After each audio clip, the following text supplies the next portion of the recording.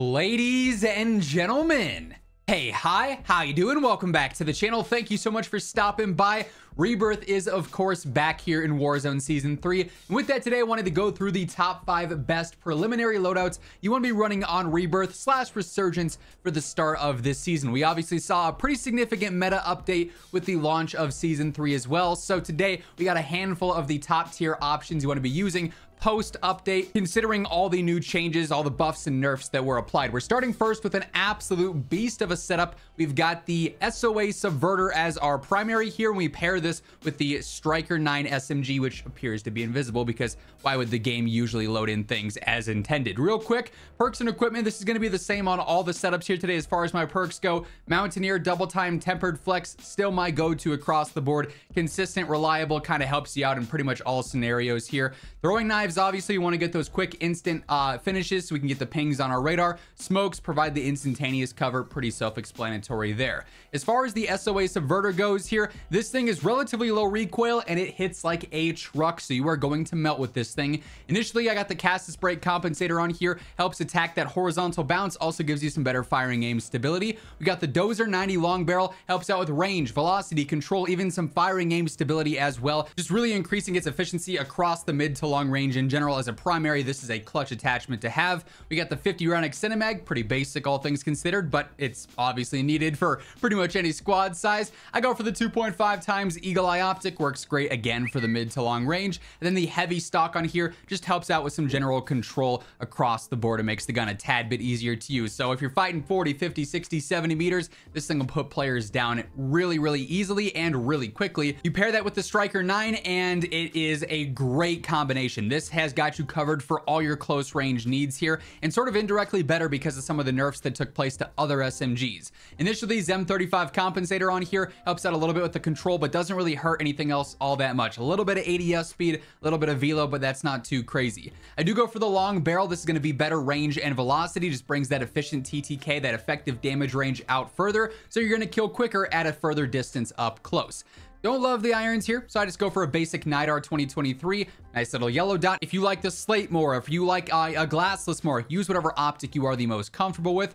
I got the 50 round drum on here, pretty standard. Then also no stock on here as well to increase that mobility across the board a ton. The recoil here is pretty easy, so the cons that are associated with that here aren't really a huge deal, especially for the close range. This just feels phenomenal. Next up here, we got the combination of the SVA 545, still a super reliable rifle. We pair this with the HRM9, arguably the best SMG in the game now post update. SVA, not really changing all that much. I would be using this in semi-auto mode here so I can hyper burst tap with basically no recoil. I do go for the Spirit Fire Suppressor. This was slightly nerfed. You know, there's going to be more of an ADS and Sprint to Fire con here. Not a huge deal for the mid to long range, though. We got the Precision Barrel, better range, velocity control, some added aiming idle sway, which makes it even easier and better in semi-auto with the faster recentering there. Bruen Heavy Support will help out mainly with the firing aim stability and aiming idle sway again. Better recentering speed, just more consistent there at the semi-auto burst. 60 round mag and the 2.5 times eagle eye optic. And even though I am personally using this in the hyperburst mode I'd use this exact same setup for full auto as well just because the gun is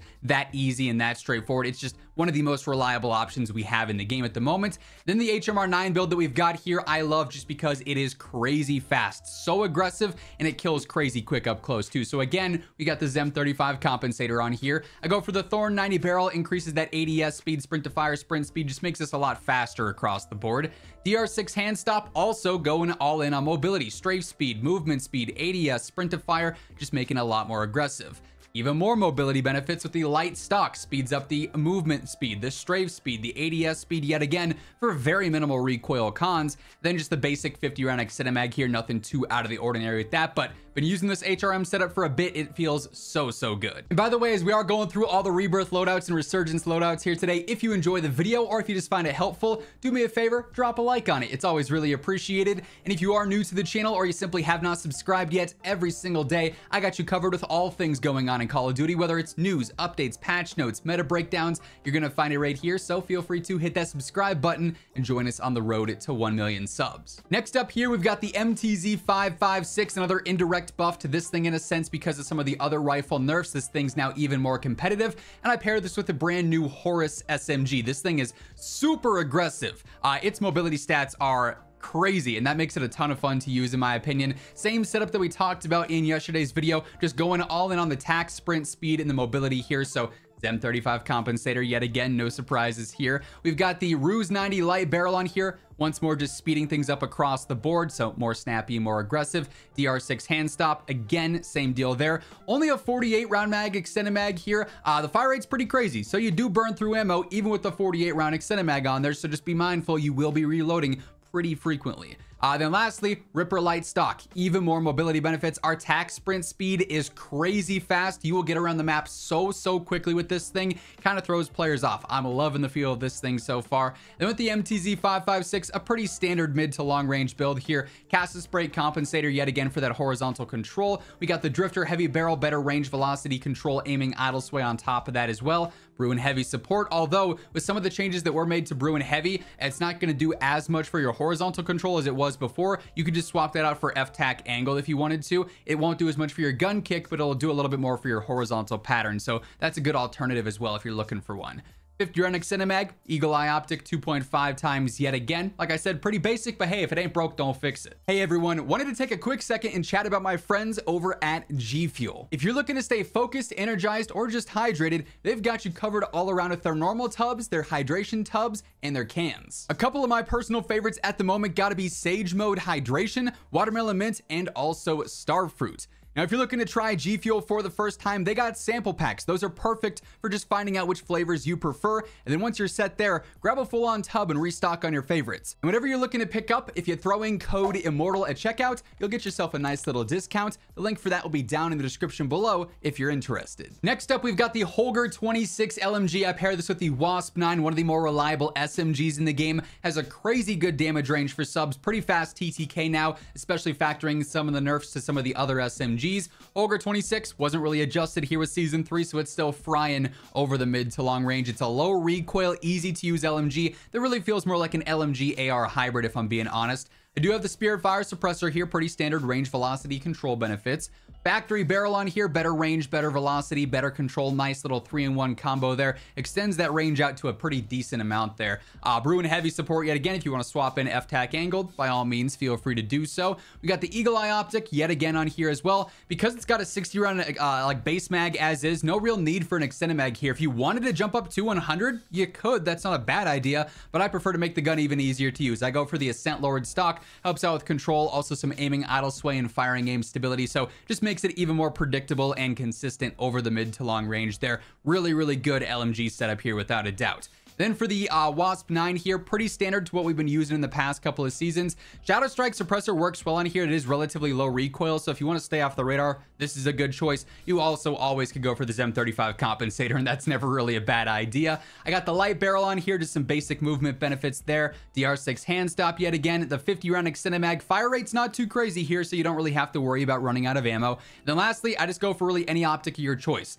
MK3 reflector is pretty good. Glassless is also a great choice as well. So whatever you're comfortable with there, rock that. This thing will be really, really consistent in the close range. And then lastly here, I did want to include a new sniper loadout for Rebirth and for Resurgence featuring the MORS, which does have that more aggressive one-shot capability. And with the heavy damage barrel on here, the Proton barrel or whatever you want to call it, it seems like the one shots can extend more. The consistency though is a little bit awkward. I'll talk more on that in just a moment. I pair this with the BP50, a phenomenal sniper support choice here. Super aggressive rifle, low recoil, and really good in the close to mid range as well. Zem 35 compensator here, DR6 hand stop yet again, 45 round extended mag. I just go for the glassless optic in this case. I like this for the close to mid range. It works really well here. And then the Moat 40 stock, better gun kick control, but better strafe speed and better ADS speed on there too. So control and mobility not usually two pros you get at the same time. It's nice when it happens like this though, because it does make the gun a lot more uh, efficient everywhere that we're using it in a sniper support style like this. But as I was talking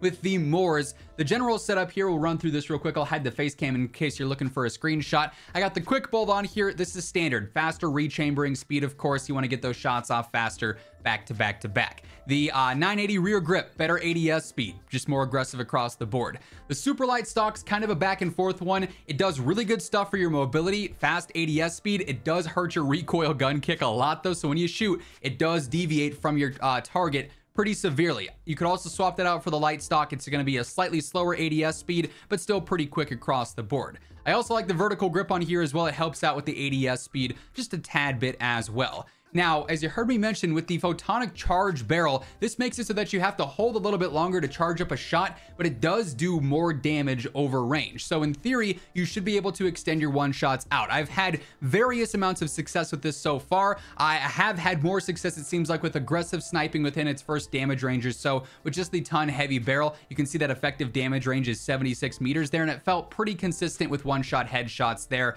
Uh, you know, sometimes it might just be because someone has a little bit less armor, uh, and you happen to get lucky in that situation. But for a sniper build, this is a fun alternative to the cat into the stalker as well. And that being said, those are five of the best rebirth loadouts to be running at the moment. If you guys enjoyed the video or if you found it helpful, do me a favor, drop a like on it. And of course, if you're new to the channel, you want to guarantee that every single day you're up to date with all things going on in COD, be sure to hit that subscribe button and turn on those post notifications. But once again, thank you so much for tuning in.